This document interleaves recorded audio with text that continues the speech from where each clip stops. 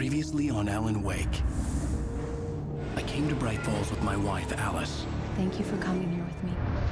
I thought maybe you could write here. I don't want to hear it. God damn it, Alice. Now, she's missing. Alice? Alice?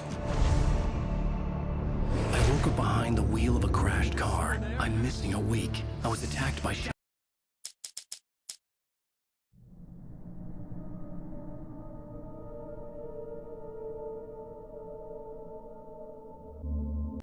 sh- on Alan Wake.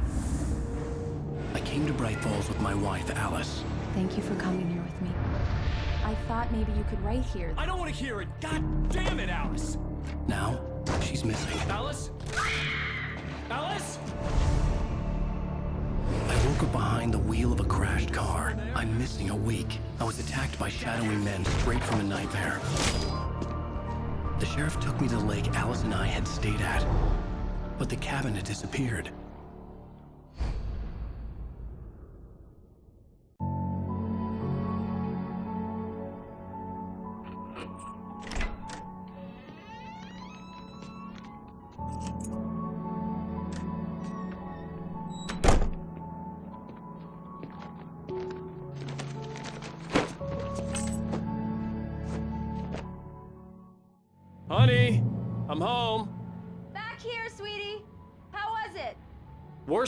I've ever seen.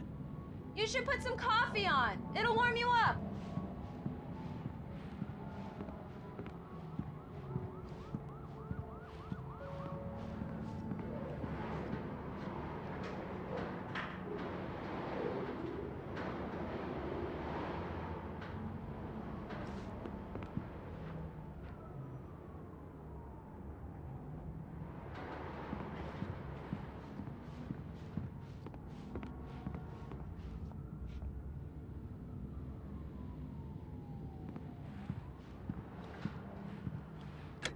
Coffee's on. Great, thanks. I'll need it if I'm gonna finish this by tomorrow.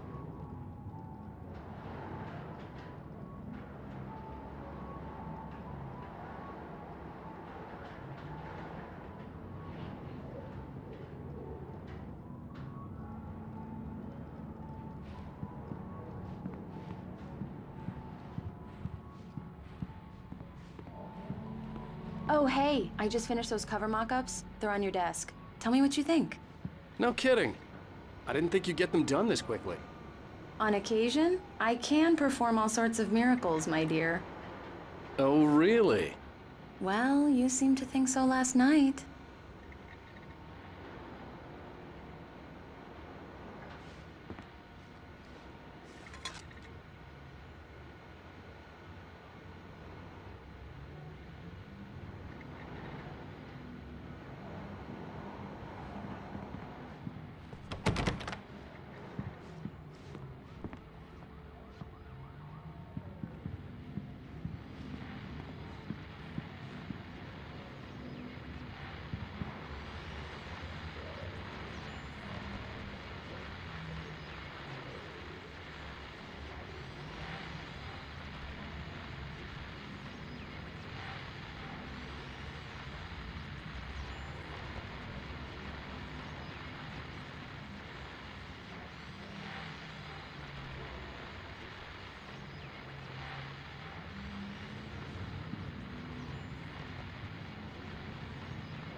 These look really good.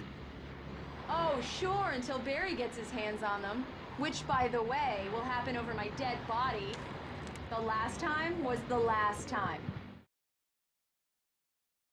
It's true what they say about the fall and the sudden stop at the end. I'd lain here in the snow while the lurid chain of scenes that had led me here kept playing in my head. A rerun of my own private snuff movie. A memory of my corpse. Alone at my own wake. Thinking in metaphors again. The femme fatale was gone. Only a sour taste remained of the kiss that killed me. This was a late goodbye. Thirteen years after I'd gotten my revenge, it had finally caught up with me. It had been a long time to bear the pain. My blood painted the snow red, a gruesome, slushy, dissolved all the scattered painkillers, and leisurely dripped down to the sewer, mingling with the bile of the city, becoming one with it. I can see them now my wife and my baby. Honey, I'm home.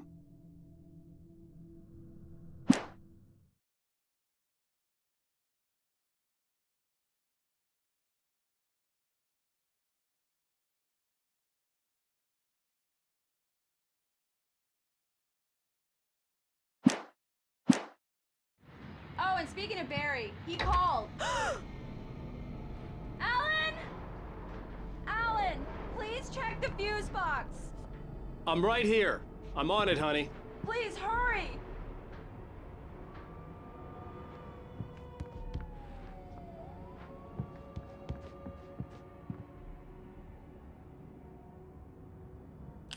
Honey, it's a power outage. I- I've got the flashlight.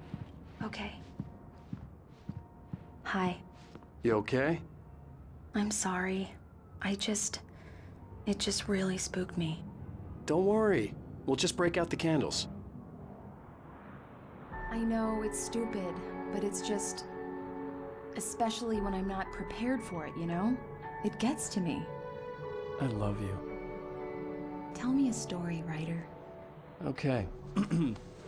I used to have these nightmares when I was a kid. The dark really spooked me, too. When it got really bad, my mom gave me this old light switch. She called it the clicker.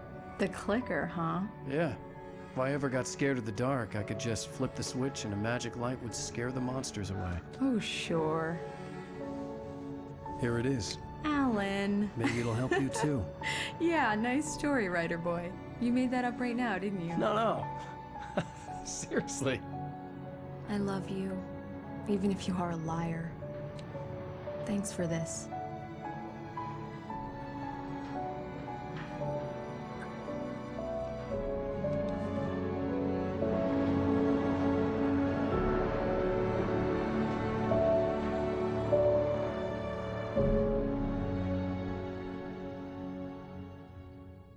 Hmm.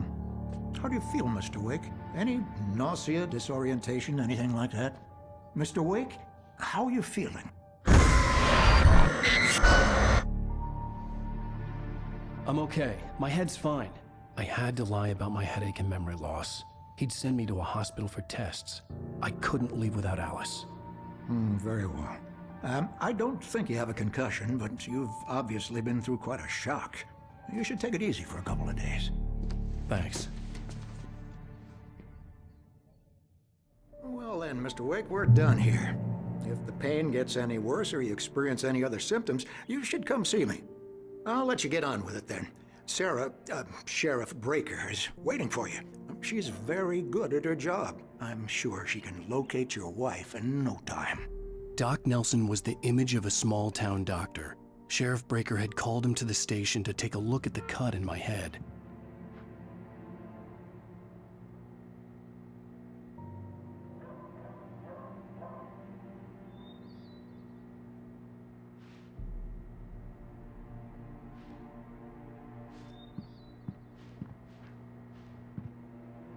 I'm sorry you had to cut your morning fishing short for this, Doc. Oh, she's a beauty, ain't she? Not the biggest I ever caught, if you can believe that coming from an old fisherman like me, but she's right up there. Now, she's a largemouth bass, which is what you're after if you prefer a lure. Now, if you want either trout or salmon, on the other hand, then it's fly fishing for you. Um, you a fishing man, Mr. Wake? Oh, doesn't really matter, I suppose. But it can be very relaxing out there. You can't get me off the water this time of year. Closest thing to heaven. I'll take your word for it, Doc.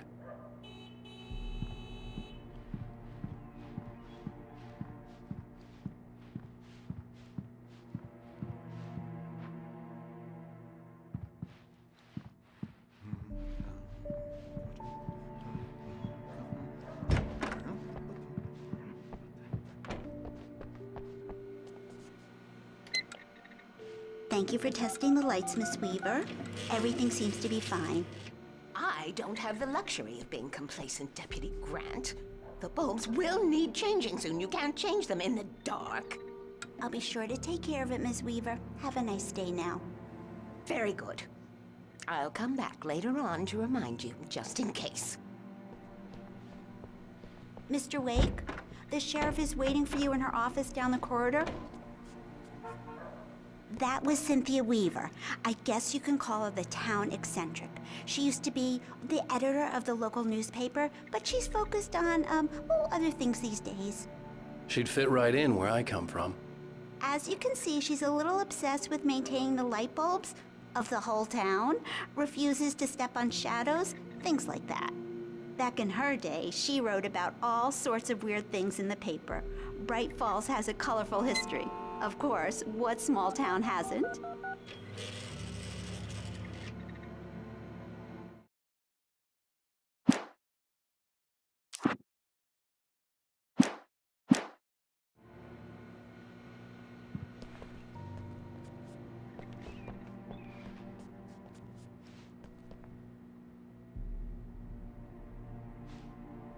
The sheriff wants to see you in her office, Mr. Wake.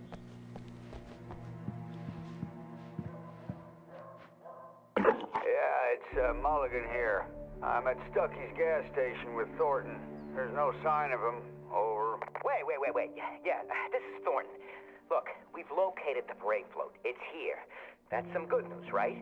Stucky was supposed to be driving it at the rehearsals today. Over. Oh, give me that. Mulligan here. Looks like someone really thrashed the garage. Over. Okay, roger that, guys. Keep looking for Stucky. Jane's out.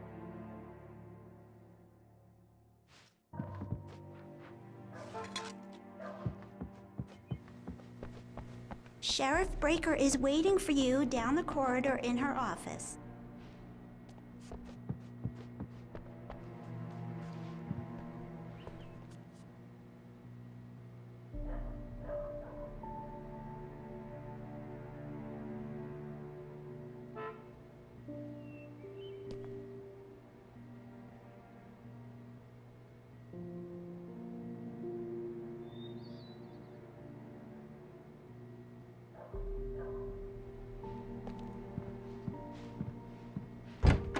Come in, Mr. Wake. Your phone's on the desk. The battery was dead. It's charged now. Have you started looking for my wife yet?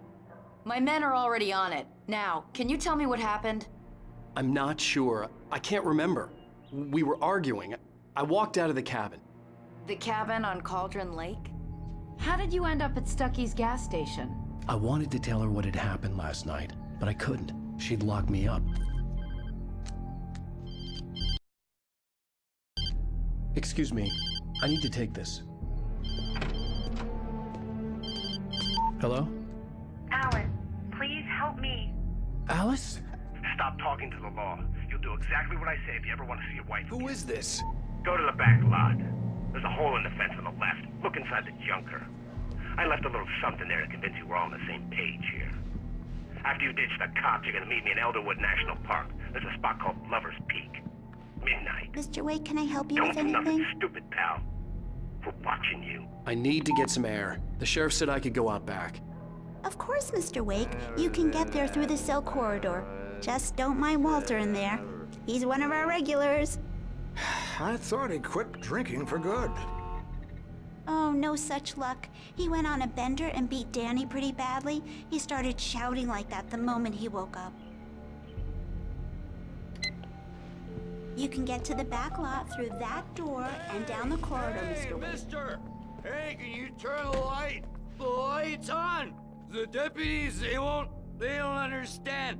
They won't listen to me. I... I need it to be bright in here!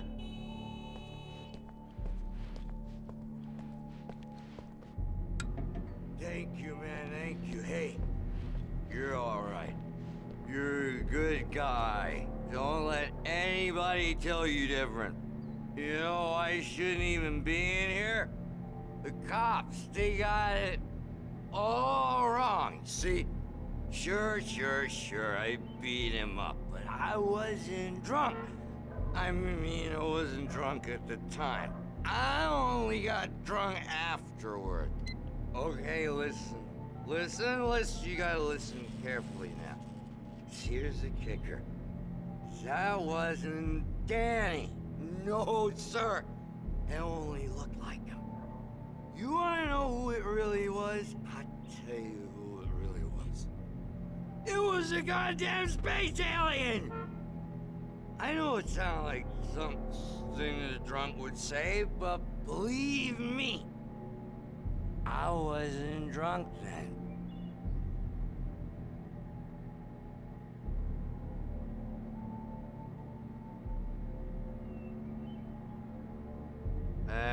Told him, oh yeah, well, I don't hear you where on your feet. I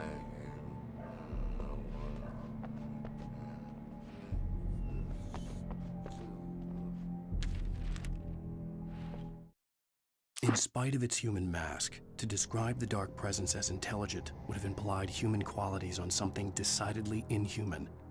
Nonetheless, it found the one spot in the diner that was dark enough. Some light spilled into the corridor, ravaging it. But it took the pain.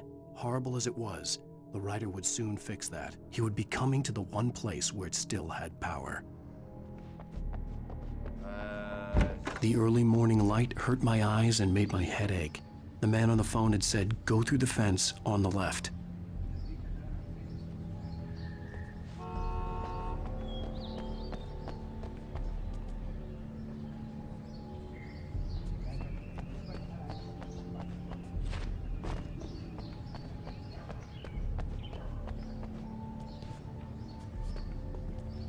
The caller had told me to find a hole in the fence behind the police station. There was something for me in an abandoned car.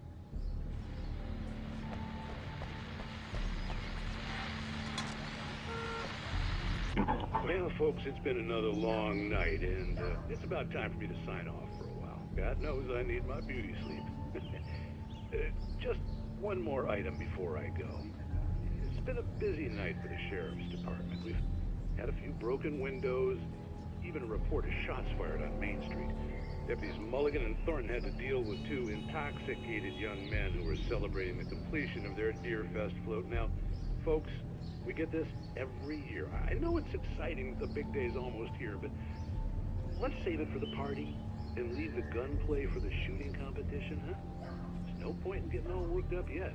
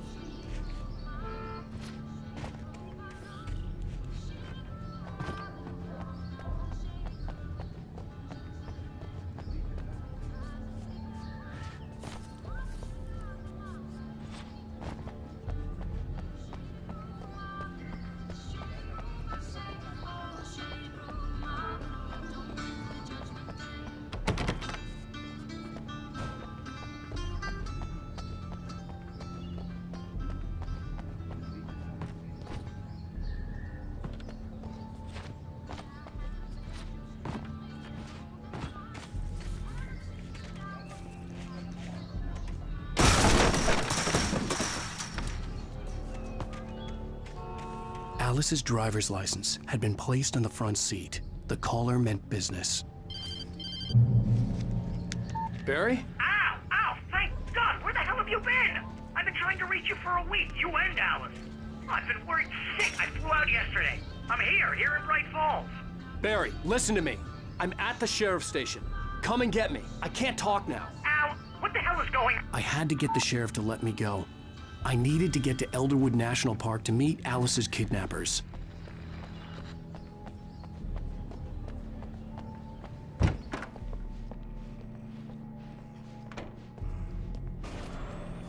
A writer is a light that reveals the world of his story from darkness, shapes it from nothingness. The way a sculptor carves a statue from a block of granite. If I stop, the world I'm making dies. Darkness will reclaim it. It's a long, hard journey into the dark. Alice's life is at stake, but I can't think about that, or I'll lose it. The dread lingers at the edge of perception. I'll push on. Anything is possible here. I'll write the story. I'll save her.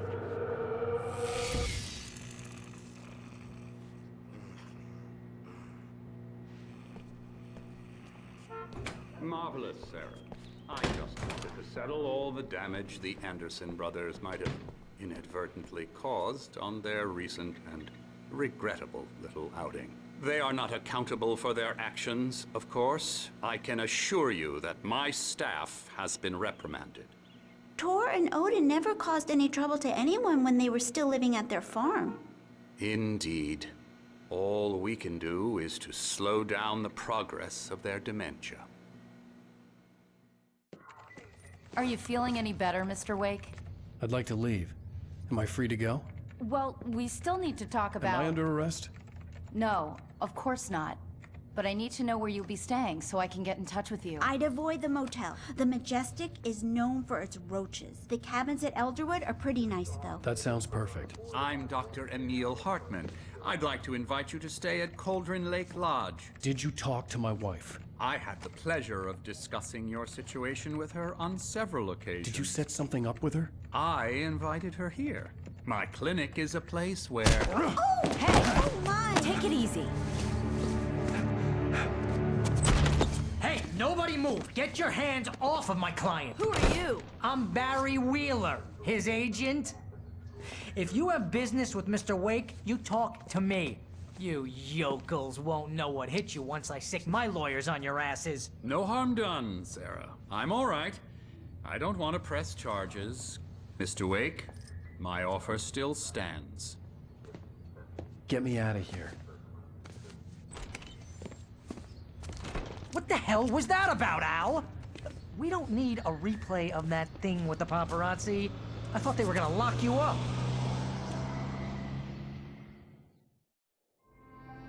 Had to talk to someone. I told Barry everything. He thought I was certifiable, but when he heard about the manuscript, I had him. The fact that I'd written something, even if I couldn't remember it, was enough for him. He smelled money. And he believed that Alice had been kidnapped. Anything beyond that was another story. I had a midnight appointment with the kidnapper in a place called Lover's Peak, somewhere in Elderwood National Park. The plan was to rent a cabin. I don't like it, Al. I don't like any of it. It's not good. In fact, it's the absolute opposite of good. Mr. Wake! Barry, you found him! Hi, Rose. Oh, wow. I was just thinking about you, too. Great. I was just bringing Rusty some coffee. He's on the balcony, looking after Max. Poor thing. I really need to go. Great to see you again, Mr. Wake. Later! Who's Max?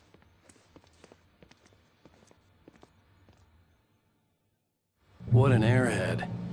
Jeez, Mr. Takes a swing at everybody. This is not her fault. She's a very nice girl and, more importantly, a fan. She even has a fan site dedicated to you.